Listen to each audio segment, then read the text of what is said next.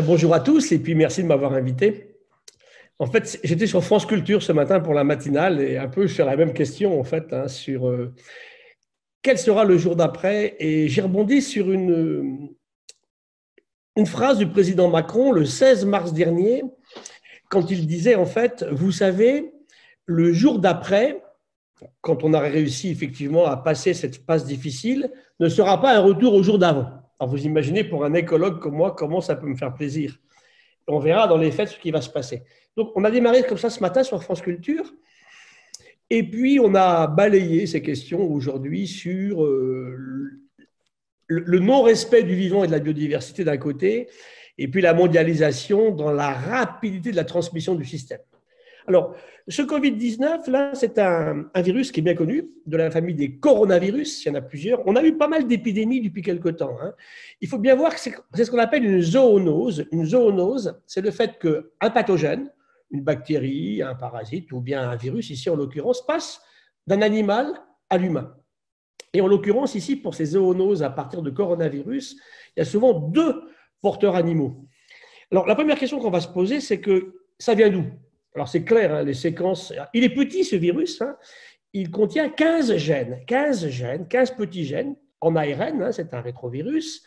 Et nous, en humain, c'est à peu près un peu moins de 30 000 gènes. Et 15 petits gènes, excusez le terme, sont en train d'emmerder l'humanité et de mettre à genoux nos économies. J'aime beaucoup ça dans la réflexion, dans l'ironie, je ne me marre pas du tout de ce qui se passe en ce moment. Hein. C'est très préoccupant, euh, tous ces confinements aussi, parce que c'est compliqué le confinement. On va y revenir tout à l'heure aussi. Euh, je vois les problèmes, tu parlais des femmes, Arnaud, les violences conjugales, c'est monstrueux. Et puis, il y a des gens qui pètent les plombs, on le voit tous les jours.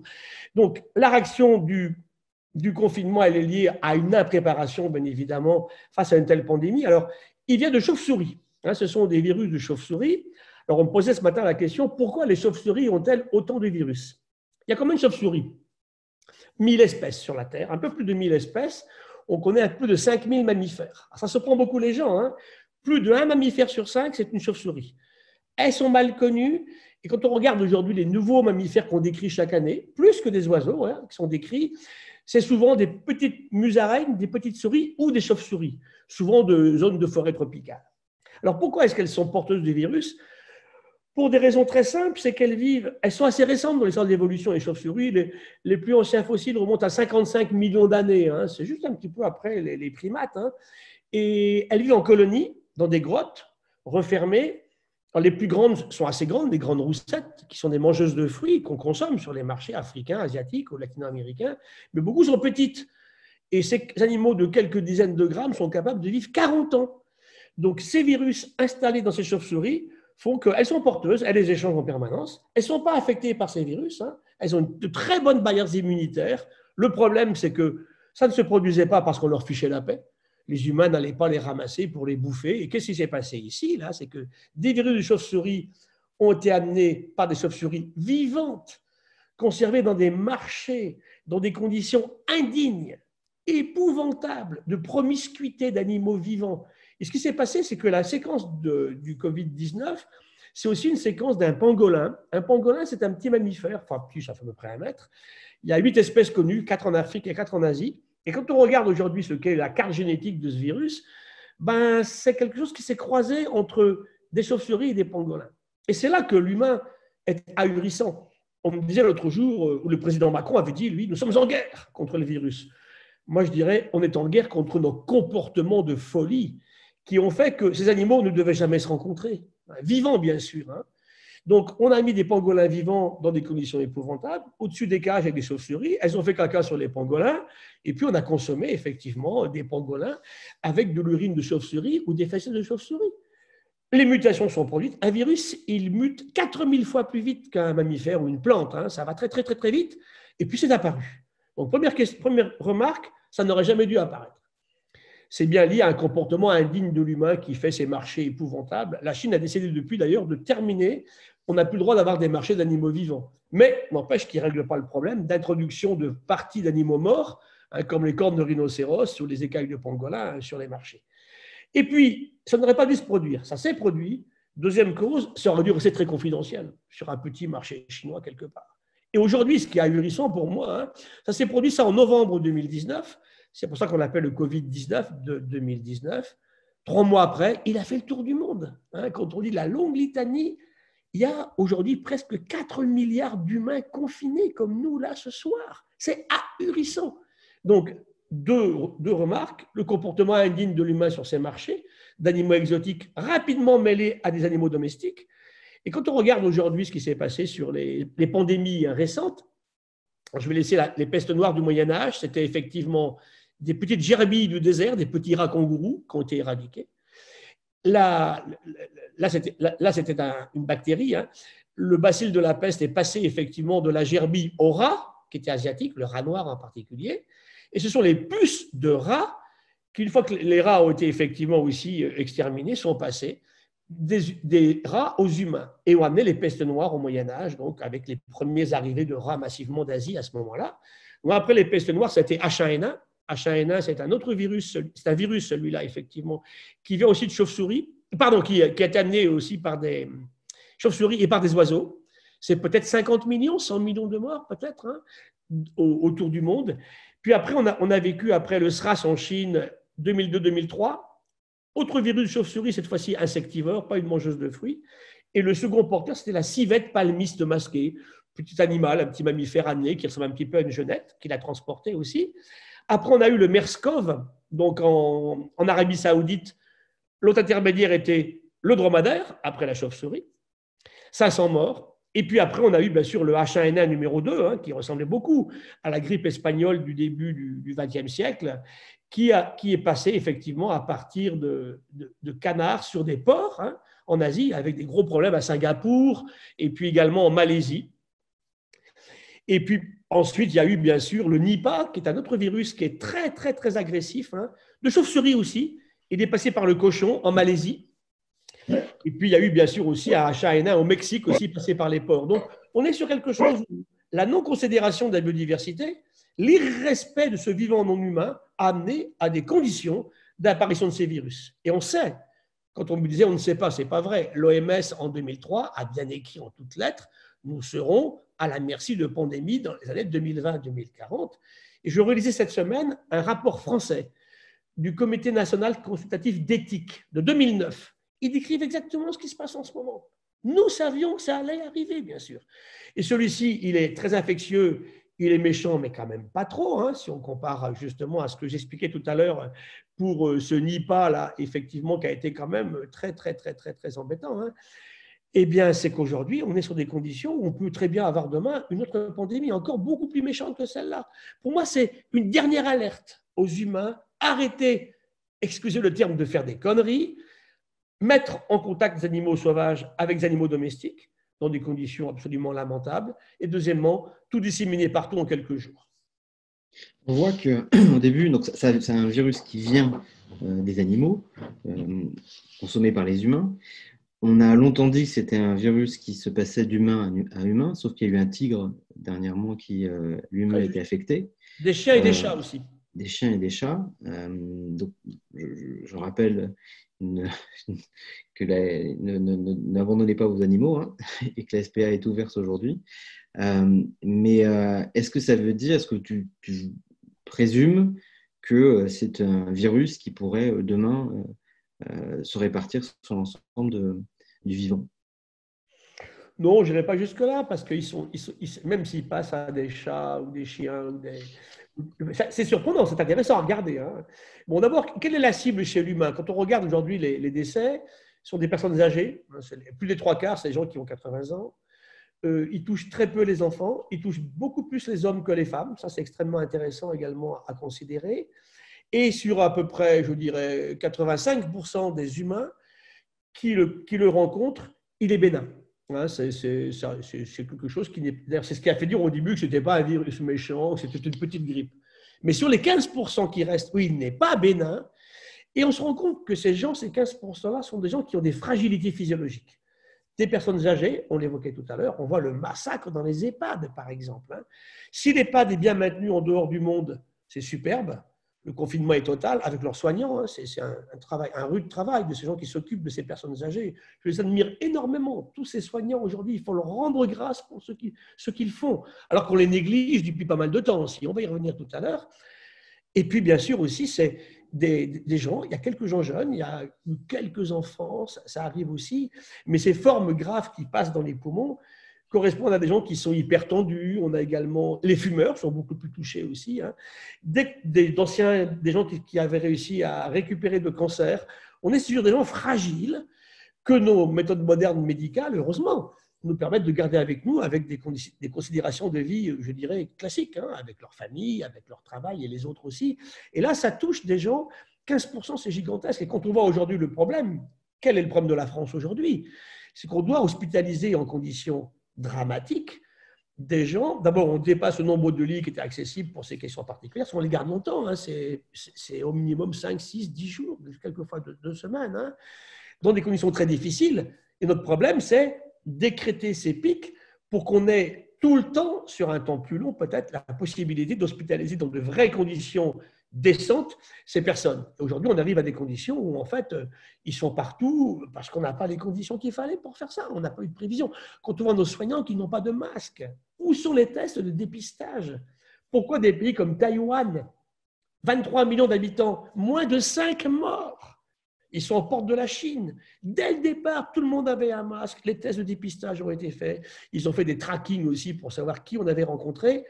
La Chine a réagi aussi, mais très violemment, dans des conditions qui sont euh, insupportables. Ce n'est pas le cas de Taïwan ou de la Corée. Hein. Ce sont des démocraties comme la nôtre. Donc on ne me dise pas qu'il faut un État totalitaire pour s'en sortir. Ce n'est pas vrai. Chez nous, on a une impréparation qui a été liée au fait que, alors qu'on savait que ça pouvait venir, on avait été prévenu, on n'a pas fait ce qu'il fallait. Et puis aujourd'hui, c'est pour ça que j'admire tellement le corps médical aujourd'hui, qui malgré le fait qu'on ne les a vraiment pas respectés depuis pas mal de temps, font un travail exceptionnel.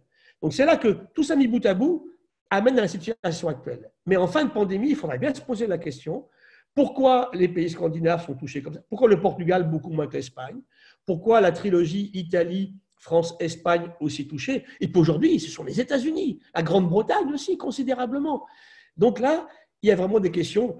Il faut absolument un débat scientifique. Hein, c'est pas... Moi, ce qui m'énerve beaucoup aujourd'hui dans ce qu'on discute, et c'est pour ça que j'ai accepté de venir avec vous, c'est que j'entends que des gens qui donnent des opinions. Sans science, on ne peut pas avancer sur des questions qui sont comme celles-là. Est-ce que dit Étienne Klein Je ne suis pas. Oui, très bien dans ce petit papier euh, cette semaine, oui. Et alors, on va, on va euh, revenir sur euh, le monde d'après, mais on va essayer de partir sur, sur un, une autre planète, on va rester sur la nôtre, mais sur un autre univers. Et la question étant, quand euh, les arbres, quand le vivant de manière générale est agressé, il a tendance à jouer collectif. L'exemple que tu avais donné à un moment, c'est euh, ces arbres qui, lorsqu'ils se font brouter, euh, envoient un signal sur 2 km, je crois. Comment est-ce que ces animaux, comment est-ce que le vivant de manière générale réagit collectivement lorsqu'ils sont en situation de stress? Comme tu viens de le dire, il n'y a pas que les animaux, hein, puisque des arbres ne sont pas des animaux, ils sont capables de faire des choses exceptionnelles. Ce travail avait été assez fantastique, parce qu'on s'est rendu compte qu'un arbre accepte un certain broutage. C'est-à-dire que c'est normal qu'un arbre soit brouté par un mammifère qui vient le manger, mais jusqu'à un certain point. Il y a un moment où l'arbre décide que ça commence à bien faire, hein, il ne faut pas le défolier complètement, et là, il va émettre par ses racines une substance qui rend l'arbre complètement immangeable pendant 24 heures. Jusque-là, ça va, c'est déjà pas mal. Hein mais on s'est rendu compte que par des gaz très volatiles, de l'éthylène, en fait, qui passent par les ramures supérieures de l'arbre, il prévient les arbres d'à côté, qui émettent la même substance et qui deviennent immangeables sur une surface assez importante. On s'était rendu compte avec des élans du Cap, des grandes antilopes en Afrique du Sud, qui, en fait, sur un grand parc fermé, finissaient par mourir de faim. Alors, le vétérinaire se posait des questions en disant Mais comment ça se fait? C'est pas possible, ils ont de la place. Et en les regardant bien, il se rendait compte qu'ils commençaient à bouter des arbres, et après, il passait à plusieurs kilomètres de là pour commencer à en brouter d'autres. Et c'est comme ça qu'est née cette idée de transmission d'informations pour protéger aussi les autres. Et quand on arrive au bout de la réserve, eh bien, tous les arbres étaient immangeables pendant 24 heures. quand on est herbivore, il faut manger beaucoup plus que simplement quelques heures sur 24. Donc ce travail est parti comme ça, et on s'est rendu compte que c'est très généralisé dans le monde vivant. Sur les fourmis, c'est bien connu. Par exemple, les fourmis, quand elles vont commencer à... Elles le savent, les fourmis. Elles commencent à manger une feuille, et en fait, pour que l'arbre ou la plante de la feuille en question n'ait pas le temps de mettre sa substance qui vient des racines, elle découpe d'abord la feuille. Vous verrez quand vous vous promener dans la nature prochainement, vous verrez le nombre de feuilles coupées. Pourquoi ils sont coupés des feuilles comme ça? Ben, Simplement parce que la feuille, une fois décrochée, ne peut plus recevoir la substance qui va la rendre immangeable. Elle après, et bouffe tout un feuille qui ont été découpées comme ça. Elle se précipite pour tout découper à l'avance. Et on a une infinité d'exemples qui sont comme ça. Donc face à l'agression, c'est vrai que les animaux qui sont grégaires, hein, ce n'est pas le cas de tous les animaux, hein, quand on vit toujours tout seul, euh, on ne la fait pas euh, collectif, comme on disait tout à l'heure, il y a des réactions vraiment du groupe assez exceptionnelles. Alors d'abord, on peut aborder des espèces très très évoluées, j'aime pas trop le terme, mais proches des hominidés, par exemple, qui font partie même du même groupe que sont les chimpanzés ou les bonobos, on se rend compte que ces animaux, quand ils contiennent au niveau du groupe des animaux blessés, souvent ils ont été pris en fait dans un piège, hein, ils ont perdu une main, un pied, quelquefois deux mains hein, ou, deux pieds, ou une main, un pied.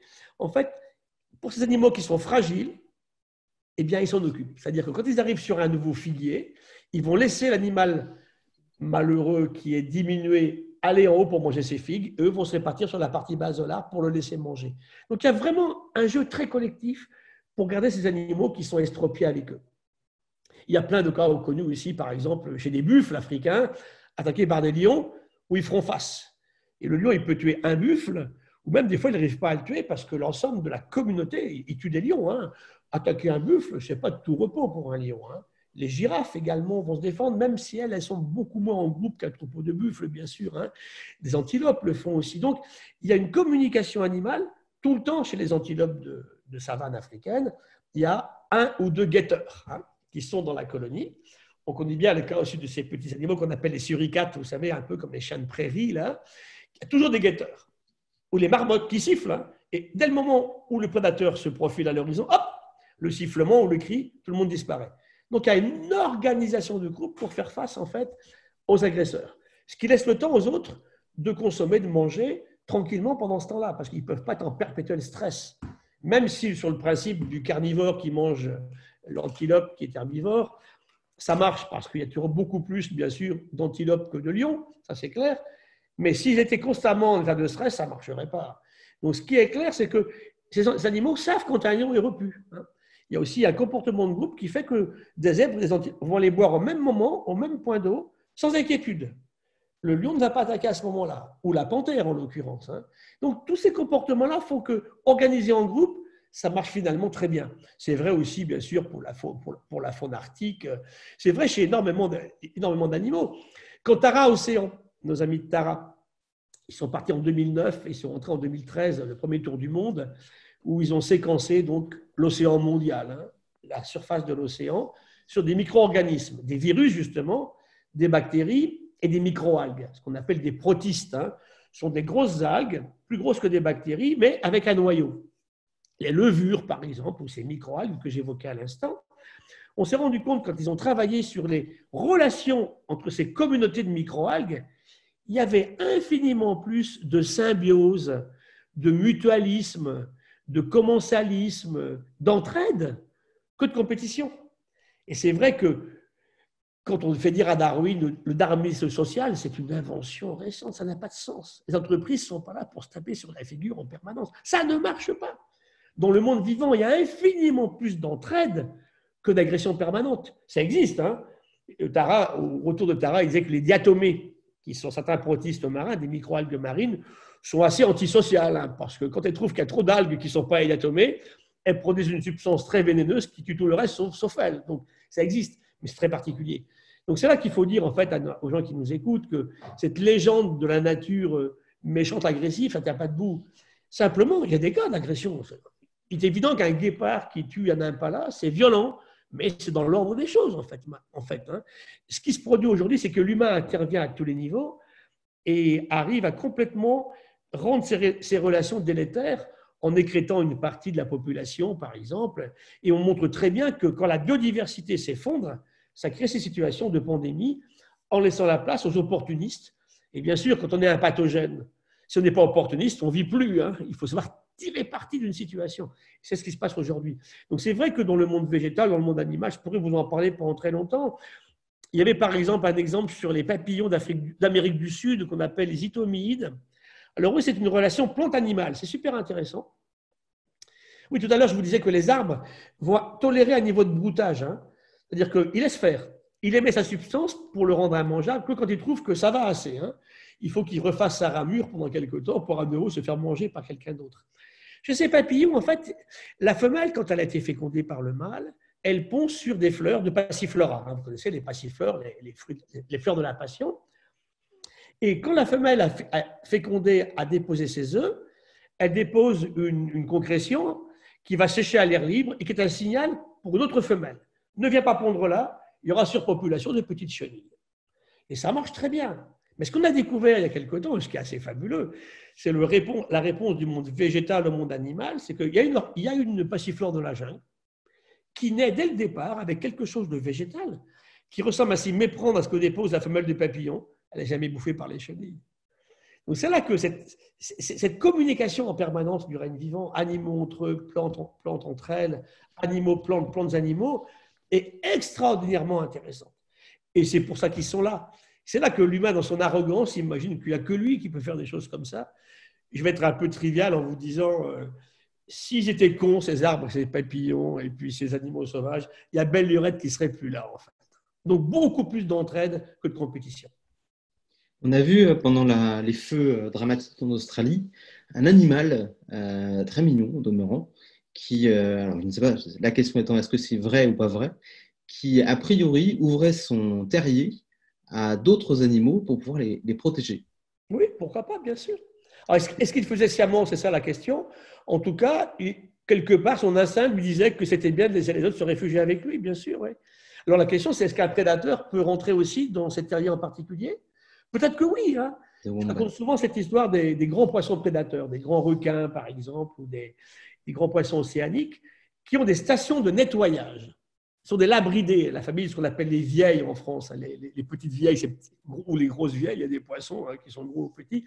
Ces labridés ont souvent des nettoyeurs. Leur boulot, c'est d'aller recevoir la visite d'un monstre qu'ils mangeraient en, dehors du, système classique. Hein, ils nettoient de ses parasites. Ils rentrent dans la gueule ouverte il rentre dans les branchies, il fait le tour, il mange tout. L'autre se laisse faire. Il fait la queue pour passer à la situation. Il s'appelle ça en anglais cleaning fish. Hein. Donc on vient à la station de nettoyage et ça marche très bien.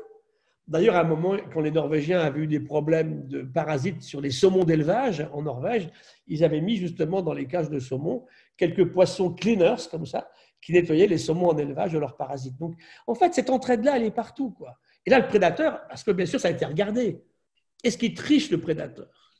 Est-ce que quelquefois, il va, bouffer le cleaner fish, celui qui le nettoie? Ben, Quand il fait ça, ça ne dure pas très longtemps parce qu'il ne sera plus, plus, jamais nettoyé, en fait. Hein. Je ne dis pas que ça n'arrive jamais, mais très rarement. Sinon, ça ne marcherait plus depuis longtemps, en fait. Chacun y trouve un avantage. Celui qui est nettoyé, ben, évidemment, il est tout content. Hein. et celui qui nettoie, il bouffe, effectivement. C'est également ce qu'on appelle la phorésie. La phorésie, c'est la capacité d'un animal à en transporter d'autres. Un bel exemple en mer, ce sont les rémoras, hein, ces poissons particuliers, qui ont une grosse ventouse et qui se collent sur les baleines, qui se collent sur les requins, sur les tortues marines. Elles ont souvent deux ou trois gros rémoras dessus. Et ils font le tour du monde avec leurs tortues, avec leurs baleines ou bien avec leurs requins. Ils se décrochent et puis ils vont en prendre un autre. Hein. Ils ne payent pas l'autobus, mais ils prennent en permanence. Et là aussi, c'est une entraide et jamais le, requin va bouffer effectivement ces rémors. La tortue non plus. Donc c'est vrai qu'il les transporte. Là, l'avantage est plus pour le transporter que pour le transporteur. Un joli cas aussi d'entraide et de mutualisme, euh, c'est le cas des petits poissons clowns, hein, qui sont tellement jolis en couleur, on les aime tous, c'est Nemo, hein, le petit poisson de dessin animé, qui vit dans des anémones super toxiques, mais dont le venin n'affecte pas le poisson clown. Alors, double intérêt, pour l'anémone, ce petit truc-là sort de temps en temps, attire un gros prédateur qui vient sur l'anémone foudroyé par son venin, et le petit poisson aura les restes du repas. Et le petit, lui, il est protégé au sein de l'anémone et il n'est pas bouffé par les gros. Donc, il y a plein d'exemples comme ça en permanence. On voit que ce qui, sort en fait de ça, c'est qu'il n'y a pas d'intention néfaste euh, dans, le monde, dans le monde du vivant et qui euh, amène à des questions que, que je vois aujourd'hui. C'est alors, on va prendre le Gilles Boeuf son, son côté philosophique, mais euh, à ton sens, qu'est-ce qui pourrait inspirer, qu'est-ce qu'on devrait s'inspirer aujourd'hui, de quoi on devrait s'inspirer, pardon, aujourd'hui du vivant pour corriger peut-être euh, ce qui existe aujourd'hui, ce, que les, humains euh, provoquent alors, néfaste, c'est un mot que je n'utiliserai pas parce qu'il n'y a pas de méchanceté, d'ailleurs, je le sais très bien. Mais par contre, il peut y avoir des situations qui soient effectivement assez ambiguës. Les animaux peuvent tricher. Chez les chimpanzés, c'est connu. Hein. Ils ont un sens aigu de l'injustice, par exemple. Hein. je donne un chocolat toujours aux mêmes et pas aux autres, ça c'est terrible. Hein. ils, n'aiment pas du tout. Donc il y a aussi des, sentiments chez ces animaux qui sont quand même très particuliers. Hein. Quand je vois moi une femelle de chimpanzé qui passe une heure pour préparer un outil pour manger un termite, c'est fabuleux ce qu'elle a fait. Quelle est la différence avec l'humain? Quand elle a fini, elle laisse son outil là où il était. On a crié ramasse ton outil, ça marche pas. Donc il y a des situations où effectivement on peut tricher, on peut profiter d'une situation mais globalement, vous savez, si jamais les animaux ou les plantes étaient passés par des systèmes systématiques de choses qui seraient néfastes, ils ne seraient plus là, en fait. Tout marche, en fait, dans un système de connexion vivante. Un écosystème, c'est quoi? C'est une construction d'animaux, de plantes, de virus, de bactéries, de champignons et de protistes, construits ensemble pour créer quelque chose, finalement, où tout le monde s'entend et tout le monde a sa place. Hein, on le voit par exemple sur, euh, sur une forêt, par exemple, ou sur un récif corallien, mais il n'y a pas que la vision. Par exemple, le, grand acousticien euh, du, vivant Bernie Krause, quand on avait fait son exposition à la Fondation Cartier, nous dit les sons. Un animal ne chante pas à n'importe quel moment, un oiseau, un criquet. Il y a vraiment toute une symphonie animale qui fait qu'il y a un qui chantera à 9h10, l'autre à 9h17, L'autre, effectivement, à 10h23, ce pas les mêmes qui chantent le matin, en milieu de nuit ou en début de nuit. Le drame dans tout ça, c'est que l'humain vient comme un, ce que disait notre ami Robert Barbeau, hein, le grand écologue, il disait en fait, euh, l'humain c'est un, éléphant dans un jeu de quilles. Hein, quand on commence à détruire ces systèmes, bah, ça ne marche plus. Et Krause nous dit souvent que même sur des zones protégées comme le Costa Rica, il dit en fait, il reste des oiseaux. Mais quand on, on écoute, on voit les arbres, on voit les oiseaux, mais quand on les enregistre, ils ne chantent plus.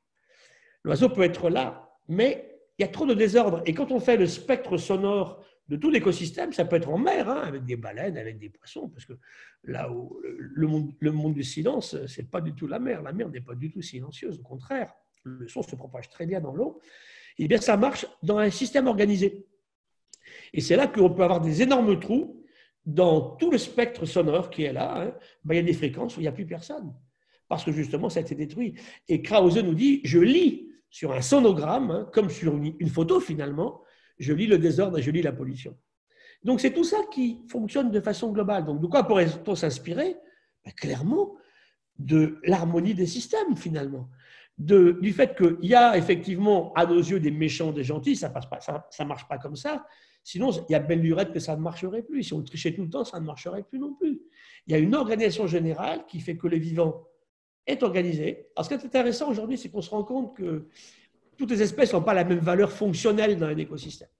Ça, c'est une notion assez récente, une vingtaine d'années, ce que les Anglais appellent en fait les, les, keystone species. Nous, on pourrait dire les clés de voûte. Il y a des espèces beaucoup plus importantes de façon fonctionnelle dans l'écosystème. L'éléphant, c'est un bel exemple. Le castor aussi. Hein, il y a un Américain qui avait travaillé sur un morceau de plage aux États-Unis, où il pendant 30 ans, hein, toujours, il y avait 357 espèces, des mollusques, des crustacés, des poissons sur son morceau de plage. Puis il s'est mis un jour à enlever tous les individus de certaines espèces, jusqu'au jour où il a enlevé tous les individus d'une étoile de mer. Et en six mois, son écosystème à 357 espèces a basculé vers que des moules ou que des balades. Vous savez, les balades, c'est ces petits crustacés qui vous font mal aux pieds, qui vont marcher sur les rochers. Ce qui veut dire que l'organisatrice de tout l'écosystème de ce morceau de plage, c'est l'étoile de mer. Et ça, c'est très important pour nous de mettre ça en évidence. Hein. Si l'éléphant s'en va, il y a plein d'espèces qui partent avec. Le castor, ça a été montré aussi, il est très important dans un écosystème. Le retour du castor s'accompagne de choses extraordinaires. Les prédateurs aussi. Quand les loups ont été ramenés au Yellowstone, par exemple, hein, c'était spectaculaire sur le contrôle des grands cerfs wapitis et puis sur le bien-être des arbres. Du Yellowstone, on a vu une végétation incroyable se redévelopper. Le loup avait sa place, comme le wapiti avait sa place, comme le bouleau avait sa place comme tout le monde finalement avait la sienne dans l'écosystème. Également, les... vient et casse tout ça, ça ne marche plus. On l'a vu qu'à l'outre de mer, par exemple, aux Aléoutiennes, dans la mer du sud de l'Alaska. Donc il n'y a pas de nuisibles Il n'y a pas de De nuisibles Non, pour moi, non. C'est une invention de l'humain. Euh, comme je dis souvent, en plus, franchement, les dieux auraient inventé des trucs bien avant que les humains n'apparaissent pour les emmerder. Ça ne marche pas comme ça. ça marche. C'est l'humain qui a une vision du nuisible. Mais, vous savez que ce terme de nuisible était dans les manuels scolaires, j'ai trouvé jusqu'en 1966. On apprenait à nos petits-enfants, filles et garçons, il y a des animaux qui sont méchants et nuisibles, des animaux gentils et bons pour l'humain. Ça n'a pas de sens. Et dans le cas des chauves-souris, si je reviens au coronavirus, ce n'est pas la faute des chauves-souris. Le vrai, le vrai ennemi, c'est le comportement de l'humain vis-à-vis des chauves-souris, qui ne demandent rien à personne, qu'on leur fiche la paix dans leur grotte, là où elles vivent, en fait. Mais notre ennemi, je le dis encore une fois, c'est notre comportement à nous. De quoi peut-on s'inspirer Je dirais du système vivant qui fait qu'il est capable en permanence de, de, muter, de changer, de s'adapter. Et je concluais ce matin ma, ma diatribe sur France Culture, vous l'écouterez. Je disais finalement, vous savez, la grosse différence entre l'évolution du vivant depuis les origines de la vie, 4 milliards d'années, 4 000 millions d'années, hein, et l'humain, c'est que le vivant a subi des attaques incroyables. Il a failli disparaître, ce qu'on appelle les grandes crises d'extinction, un volcanisme. Nos volcans actuels, c'est des bébés à côté des grands volcans qu'on avait à certaines époques de l'humanité, hein, à la charnière secondaire tertiaire, à la charnière aussi primaire secondaire, des, des, tremblements de terre incroyables, des tsunamis monstrueux, le climat qui changeait incroyablement, ça prenait un certain temps l'oxygène qui s'effondrait dans l'eau et dans l'air, qui entraînait des disparitions massives. Il a survécu à ça, le vivant. Et malgré ces crises-là, en fait, tout a toujours été en augmentation, jusqu'à à peu près deux siècles. Là, je pense qu'on a dû atteindre peut-être le maximum d'espèces vivantes sur la Terre au même moment. Là, maintenant, ça se passe moins bien parce qu'on détruit les écosystèmes. Et ce qui est intéressant de regarder, c'est que pourquoi le vivant a réussi à survivre? Pourquoi il a pu s'adapter? Parce qu'il a toujours changé. Et nous, on ne change pas. Si on ne change pas, on ne pourra pas s'adapter. Des questions qui sont un peu, un, peu violentes, mais qui, qui, ont, euh, qui sont tout à fait sensées, qui est de dire finalement, est-ce que, pourquoi est-ce que, pas pourquoi est-ce que l'homme a été créé, mais euh, quel est notre rôle dans tout ça? Est-ce que euh, le, le, la, place de l'homme, alors je vais le dire avec des mots encore plus durs, mais est-ce que la place de l'homme n'est pas une forme de virus sur cette terre? Comment est-ce que tu, vois en fait, euh, ou est-ce que simplement, c'est, je vais donner une clé hein, euh, de conversation qu'on a, déjà eue, ou est-ce que simplement c'est que la manière dont on voit le monde, elle est euh, humaniste, c'est-à-dire qu'on place l'homme et le reste autour, et peut-être qu'il faut déplacer l'homme dans, l'ensemble de cet écosystème. Bien sûr, en économie aussi, notre économie est beaucoup, beaucoup trop anthropocentrée. C'était notre ami Jacques Weber, hein, qui était un grand sociologue, anthropologue, économiste qui disait effectivement, passons à une économie beaucoup plus écocentrée qu'anthropocentrée. L'humain est dedans. Hein, comme je dis souvent, on me dit oui, mais l'humain est à part. Alors, attendez, ne faites pas dire ce que je n'ai pas dit. L'humain, d'abord, est un animal. On le voit très bien, ces gens, ils meurent de quoi? Durant le coronavirus, des détresse respiratoire. Donc, si on ne respire pas, on n'est plus là. C'est bien une fonction d'animal d'aller chercher de l'oxygène à l'extérieur. Donc, on boit, on mange, on respire, euh, on se fait des câlins. Tout ça, c'est profondément animal, c'est clair. On n'est pas que ça, puisqu'on en parle ensemble aujourd'hui ici. L'humain est très particulier dans sa capacité qu'il a pu acquérir au cours des temps, hein, depuis 3 millions d'années, de réfléchir à tout cela en se posant des questions existentielles. Euh, qui suis-je? D'où je viens? Où je vais? Mais surtout, ça a amené à une époque récente à une situation où on a oublié qu'on était dans le vivant et la biodiversité et pas à côté. Et pour nous rabattre le caquet, je répète toujours la même chose, un humain, c'est au moins autant de bactéries que de cellules humaines.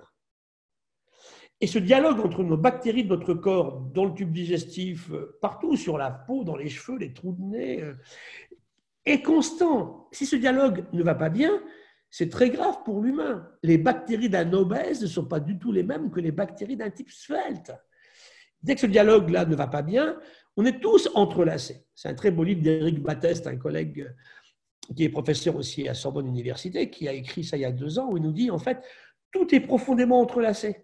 Marc-André Sello, ça fait un très joli livre qui s'appelle Jamais seul sur les arbres. Il montre comment on est sans arrêt dans une communauté extrêmement intime de contact avec ce vivant. L'humain n'est pas seul et unique. Deuxième remarque, vous regarderez avec euh, tendresse votre prochaine prise de sang et vous verrez que sur votre prise de sang, je ne sais pas s'il y a des médecins qui m'écoutent, bah, il y a sodium, potassium, chlorure. C'est intéressant ça. C'est quoi? Bah, C'est notre mère ancestrale. Pourquoi avons-nous dans notre sang tous 140 millimoles de sodium et puis 105 millimoles de chlorure? Quelques millimoles de potassium. L'océan, c'est 11. Nous, c'est 3, 4. Et c'est là que, acceptons notre appartenance d'abord au monde physique dans lequel on est, à l'océan, au départ, et puis au monde biologique. Qu'est-ce qu'on mange Que du biologique? On ne mange pas euh, un, cristal de quartz, ça ne marche pas, hein. ou un morceau de ferraille. On ne coopère qu'avec du vivant. Si on ne coopère pas, on n'est plus là. Quand un bébé humain naît au moment de la rupture de la poche des os, s'il y a des femmes qui m'écoutent qui ont eu des bébés, elles vont se rappeler. C'est le moment très précis où ce bébé humain, il entre en contact avec la biodiversité de la Terre. Il n'est pas à côté, il est dedans. Et ce bébé, il met deux années à stabiliser sa flore. Et souvent, les gens qui me connaissent rigolent parce que je termine toujours par une image d'acarien dans un lit humain le matin. Parce qu'on a dormi dans ce lit, on a entre 1 et 2 millions d'acariens par lit. Ben, c'est comme ça. Alors on me dit, ah, mais c'est moche, vous avez vu comme ils sont laids, ils ont des épines, ils ont des poils. Bah oui, sur nos critères à nous.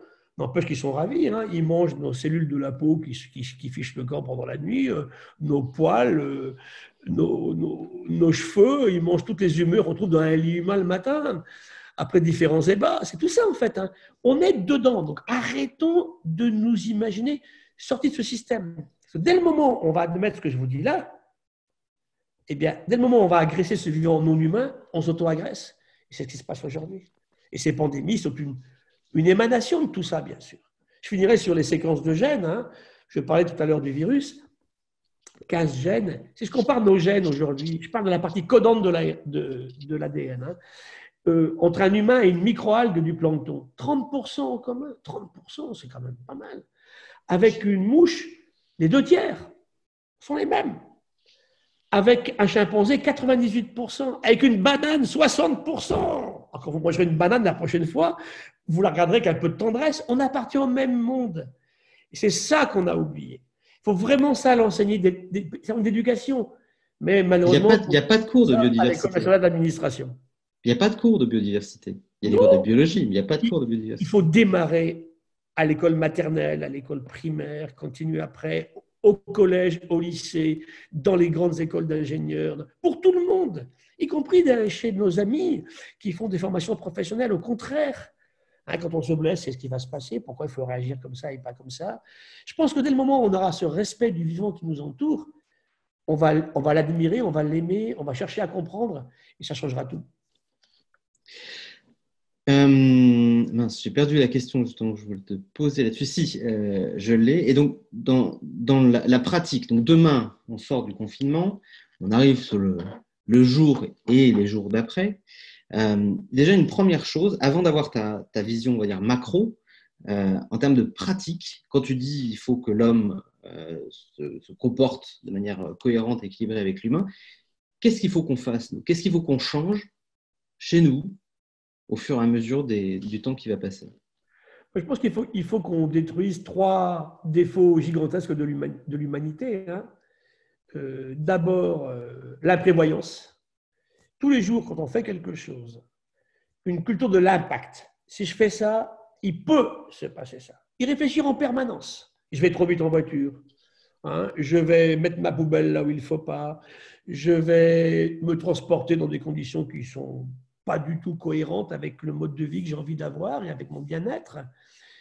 Culture de l'impact, imprévoyance. L'histoire du pétrole et du charbon, elle est typique. Quand James Watt invente la machine à vapeur, on est en 1784. Du jour au lendemain, il faut du charbon et du pétrole. Qui s'est posé la question à l'époque de se dire le charbon, c'est l'accumulation de centaines de millions d'années de plantes surtout durant l'époque carbonifère, il y a 345 millions d'années, stockés dans des gisements qui n'embêtaient personne. Le pétrole, des microalgues de l'océan, accumulés entre 250 et 25 millions d'années, tranquille.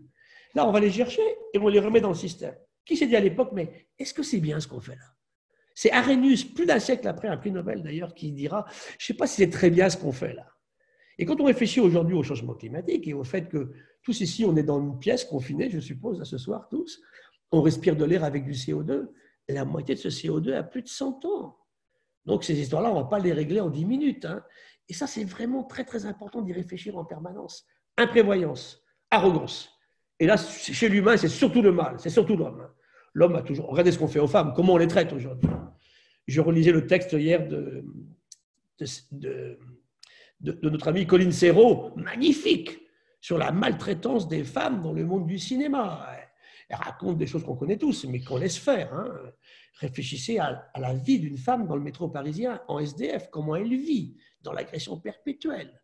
Hein, ces gamines qui vont chercher de l'eau tous les jours en Afrique sans recevoir de salaire, qui ne vont pas à l'école, qui n'ont jamais de propriété de terrain et qui font des mauvaises rencontres en route. Ça fait beaucoup. Hein ça fait partie même L'arrogance du mal chez l'humain, ça c'est clair.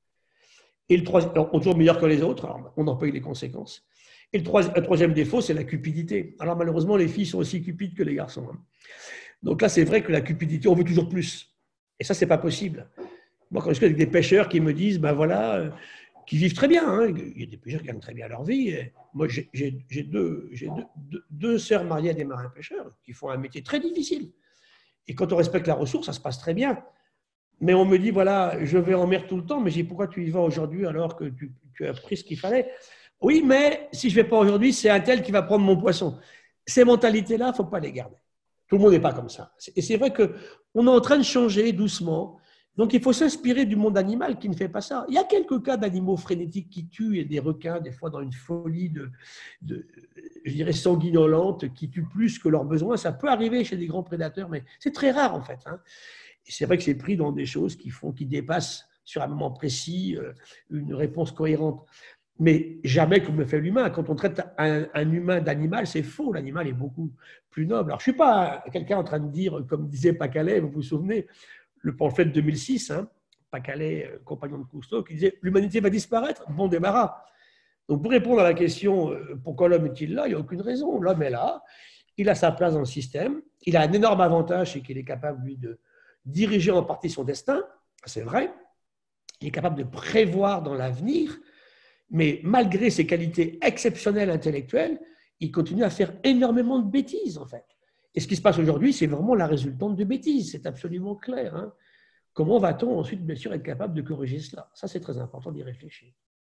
Simon qui, demande à quel point es-tu antispéciste? Non, pas du tout, moi, c'est pas mon truc. Moi, je ne suis pas du tout, au contraire, moi, je, je mets l'humain dans le système. Je ne suis pas antispéciste du tout. Je suis dans un système où L'humain a des modes de vie particuliers. En plus, je suis viscéralement anti-extrémiste de toute façon, hein, donc je ne tombe pas dans la travers par rapport à l'autre. Que, par contre, dans mon discours, c'est clair, il faut manger moins de viande. Ça, c'est clair, ça, c'est très sûr. Sauf pour le climat. Hein. Et puis, on voit manger des pangolins euh, vivants, euh, massacrer des chauves-souris, euh, éthiquement, je ne comprends pas, ça, c'est clair. Hein. Bon, qu'on élève, alors par contre, beaucoup trop d'animaux. 23 milliards de poulets, 1,5 milliard de vaches. Franck Courchon, qui est un excellent écologue que j'aime beaucoup à Orsay, nous dit si on continue comme ça, en 2050, le seul animal qui va rester, c'est la vache. C'est quoi la biomasse, justement La biomasse entre le, sauvage et le. Si je prends en considération, on va remonter à 10 000 ans. Hein. quand l'humain s'arrête de bouger, les femmes commencent à faire beaucoup de bébés. On commence à faire les premières domestications.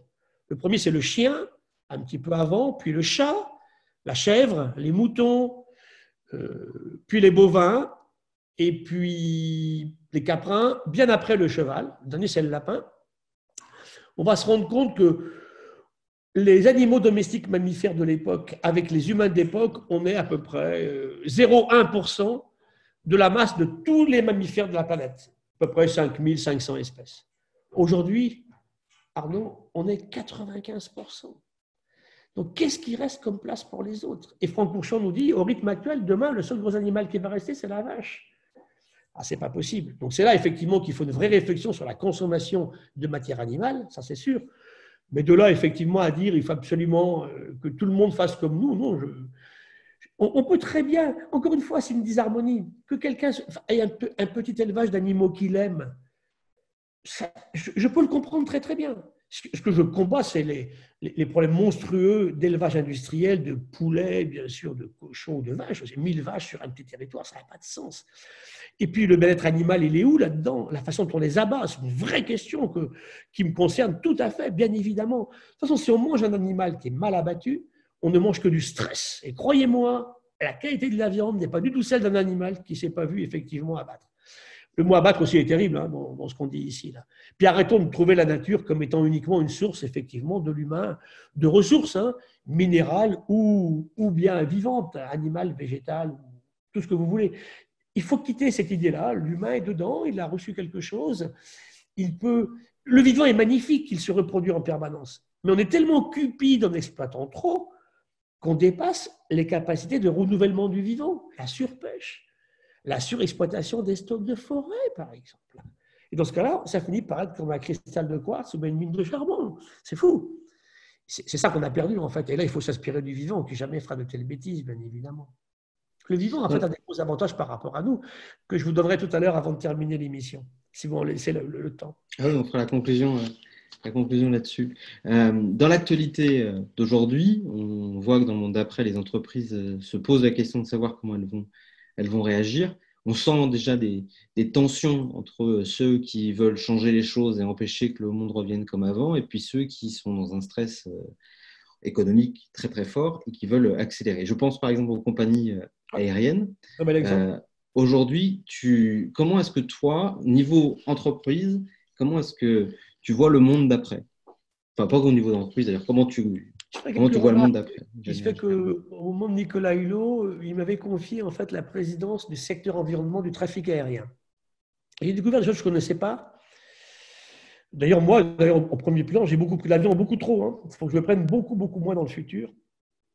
L'avion, effectivement, rend des services certains à l'humanité, surtout par exemple pour des territoires comme la France, avec les territoires d'outre-mer. On ne peut pas aller à Tahiti en, bateau en permanence ou aller aux Antilles ou bien aller à l'île de la Réunion. Donc, on a des besoins de trajets fréquents, rapides, pardon, pas trop fréquents. Moi, ce que je dirais sur le trafic aérien aujourd'hui, c'est qu'il n'est pas question de revenir au nombre d'avions euh, qui volaient jusqu'à présent. 20 hein. 000 avions au même moment autour de la Terre. Bah, je suis désolé, ça, ce n'est pas compatible avec un bien-être de l'humanité. Le but, ce n'est pas de sauver la planète. Hein c'est de garder des conditions de vie de l'humain dans des conditions qui soient acceptables. Je, suis également extrêmement dubitatif quand je vois des, billets d'avion vendus à des prix euh, de, quelques euros. C'est pas possible. Qui paye cela? Comment est-ce que l'environnement est pris en considération? Donc c'est vrai que je comprends hein, l'inquiétude, bien sûr, parce qu'on me dit bah, c'est des gens qui vont être mis au chômage, comment ça va se passer? Je pense qu'il faut trouver de l'harmonie. Par exemple, dans un pays quand même assez libéral, la Hollande, hein, récemment, c'est comme le premier pays libéral au monde qui a pris une décision politique, plus d'avions, entre Amsterdam et Bruxelles. Bah, chapeau, les trains marchent très bien. Donc, je pense qu'il y a un tas de destinations où l'avion n'est pas du tout, du tout, du tout nécessaire, en fait. Hein. Donc, comment est-ce qu'on fait? Comment est-ce qu'on réfléchit à tout cela? C'est vrai que nos avions été bien améliorés, nos voitures aussi consomment de moins en moins de kérosène pour nos avions, les voitures de moins en moins d'essence ou, de, diesel de moins en moins de bruit, euh, de moins en moins de particules fines émises, de moins en moins de CO2. tout ça, c'est très vertueux. Le problème, c'est que si on double le trafic tous les 10 ans, ça ne marche pas. Donc, il y a une vraie, une vraie réflexion à avoir là-dessus, sur les prévisions, effectivement, de développement. Ça, c'est très important. On va euh, bientôt s'arrêter, puisqu'il est, euh, il est 55. Donc, peut-être, justement, tu voulais nous dire quelque chose sur oui, je voulais vous mystère du vivant. Entre nos, nos économies des humains aujourd'hui et le vivant. Et pour ça, il y a cinq ou six remarques à faire. En fait, le vivant est là depuis, on a dit, 4000 millions d'années. L'humain depuis 3 millions d'années. Tu peux avant, avant on, est, sur des espèces, bon, allez, entre, entre 3 et 5. Le vivant ne produit jamais une substance qu'il ne s'est pas dégradée le vivant peut faire des poisons terriblement violents, hein, qu'on arrête de dire bah, la nature, tout est bon. C'est archi faux. Des choses horriblement violentes. Manger de la conite ou des amanites phalloïdes, vous verrez, ou de la digitale, c'est hyper toxique, des alcaloïdes puissants. Des cônes, des venas de cônes sont incroyables, ces coquillages des mers tropicales. Donc, mais la nature sait les dégrader, ces molécules. Donc, elle ne produira jamais un pesticide qu'on ne sait pas dégrader. Hein. elle ne va jamais s'auto-empoisonner par ces produits. Deuxièmement, le vivant fait tout avec une énorme économie d'énergie. Une libellule, c'est mes chouchoutes, la libellule. J'avais fait une préface à un ouvrage. Très beau livre avec Thierry Marx. où je raconte qu'elle vole à presque 100 km/h avec 2 watts. Elle est capable d'encaisser 30 G en accélération. Quand vous centrifuge dans un, dans un manège, vous payez 10 euros votre tour de manège, vous vomissez votre 4 heures, vous arrivez à 6 G, elle encaisse 30 G, ma libellule. Très peu d'énergie, Elle ne s'empoisonne pas avec les produits qu'elle produit. Ensuite, elle fait ça pour tout le monde, y compris pour les gilets jaunes, pas que pour certains. C'est très important de prendre ça en considération. Elle évolue en permanence, elle change en permanence, cette nature vivante. C'est très important, ceci, bien sûr, de prendre ça en considération. Et puis aussi, on a vu qu'elle est beaucoup plus dans un système de coopération, d'entraide, hein, que ce qu'on pouvait imaginer euh, différemment. Tout ça, finalement, nous amène à réfléchir sur quelque chose que elle est bien supérieure à nous, en fait. Hein. Et surtout, je terminerai là-dessus, la nature optimise en permanence. Elle ne maximise jamais ni les coûts ni les profits. Et ceci a permis à ce vivant qui accepte de changer en permanence, d'évoluer, de s'adapter à des conditions incroyablement changeantes, d'être toujours là, en fait. Donc ma conclusion est claire, cette économie actuelle qui nous a amenés dans le mur, dans lequel on se trouve aujourd'hui, qui consiste à gagner de l'argent, à faire du profit en détruisant la nature et la biodiversité, en la surexploitant, c'est terminé. Sinon, eh ben, écoutez, euh, là, c'est pas Calais qui aura raison. Si on continue effectivement la prochaine pandémie, ben, c'est tout. Est-ce qu'il faut qu'une dernière question, parce que je vois qu'il y a plusieurs questions là-dessus, est-ce que la clé finalement, c'est pas l'éducation? Si, bien, bah, c'est pas l'éducation qui est la crise, c'est le manque d'éducation en fait. Mais dans l'éducation, je vais insister sur une chose importante vis-à-vis de nos enfants, de nos jeunes. Hein. Moi, j'enseigne, je suis enseignant, c'est ma fonction de base. Hein. J'enseigne à l'école de médecine, dans les écoles vétérinaires, à AgroParisTech, en écologie à Jussieu. Maintenant, à Sciences Po Paris, ça, c'est des cours qui sont intéressants pour moi, où j'ai un cours qui s'appelle De l'histoire naturelle à l'économie des hommes. La chose importante, c'est non seulement il faut donner des connaissances, sur de la science, science-based, quand j'entends les nombres de conneries incroyables, le virus a été inventé par l'Institut Pasteur, mais qu'on m'explique pourquoi et comment C'est monstrueux. 20% des Français croient à des conneries comme ça, c'est pas possible. À côté de ça, donc, de l'éducation scientifique, c'est vrai, des connaissances, mais aussi, et c'est là que c'est important pour nos jeunes, de l'esprit critique. Et ça, je pense que l'enseignement aujourd'hui chez nous ne développe pas assez l'esprit critique. Hein. On ne va pas emmagasiner de la connaissance comme ça. Oui, et c'est pour ça qu'aujourd'hui, dans ces fake news, nos jeunes doivent être capables. Ça, c'est du pipeau, ça, c'est vrai. Et pour ça, il faut qu'on les aide. Et c'est vrai que la meilleure aide, c'est ce que disait Étienne Klein hier encore, on découvre un tas de gens qui se découvrent en fait scientifiques, alors qu'ils ne sont pas du tout. Je ne veux pas un monde dirigé par la science, ça, ça ne marche pas. Il faut des décideurs, mais qui devraient écouter beaucoup plus les scientifiques, ça c'est extrêmement important. Et c'est là qu'on a vraiment, au niveau aujourd'hui de la distribution de nouvelles totalement farfelues, des inquiétudes à avoir. Ce qui veut dire, là je vais prêter pour ma paroisse, qu'on ne supprime pas dans nos lycées en France l'enseignement des sciences de la nature, des sciences de la terre et des sciences de la vie, comme c'est en train de se passer en ce moment. Sinon, on perdra cet esprit critique. Très bien. Alors, restez encore connectés euh, quelques secondes. D'abord, je voulais te remercier, Gilles, d'avoir participé à ce, à ce talk. Euh, sachez que ces talks-là, sont euh, possibles et réalisables par Mo, par euh, Madines, par Hello Tomorrow, par So Good, euh, par Make Sense euh, donc, et par School Lab. Merci à, ces partenaires-là qui nous ont fait confiance pour enclencher cette, dynamique. Donc, je vous dis, le prochain talk sera avec l'amiral François Dupont, qui est le commandant du sous-marin SNLE, donc c'est un sous-marin nucléaire, le commandant François Dupont, qui va nous parler du respect de soi, du respect de la création de l'autorité, une forme d'autorité extrêmement bienveillante. Ça va être vraiment passionnant. Donc, c'est la semaine prochaine, jeudi, à 12h30. Puis, il y aura Bertrand Picard. Si vous voulez avoir toutes les actualités, vous pouvez vous inscrire sur la newsletter de Mo pour recevoir euh, toute, euh, toute notre actualité. Un immense merci, Gilles Boeuf. Je vais vous demander à tous de rouvrir vos micros et d'applaudir grandement Monsieur Gilles Boeuf, le professeur. Merci, Gilles.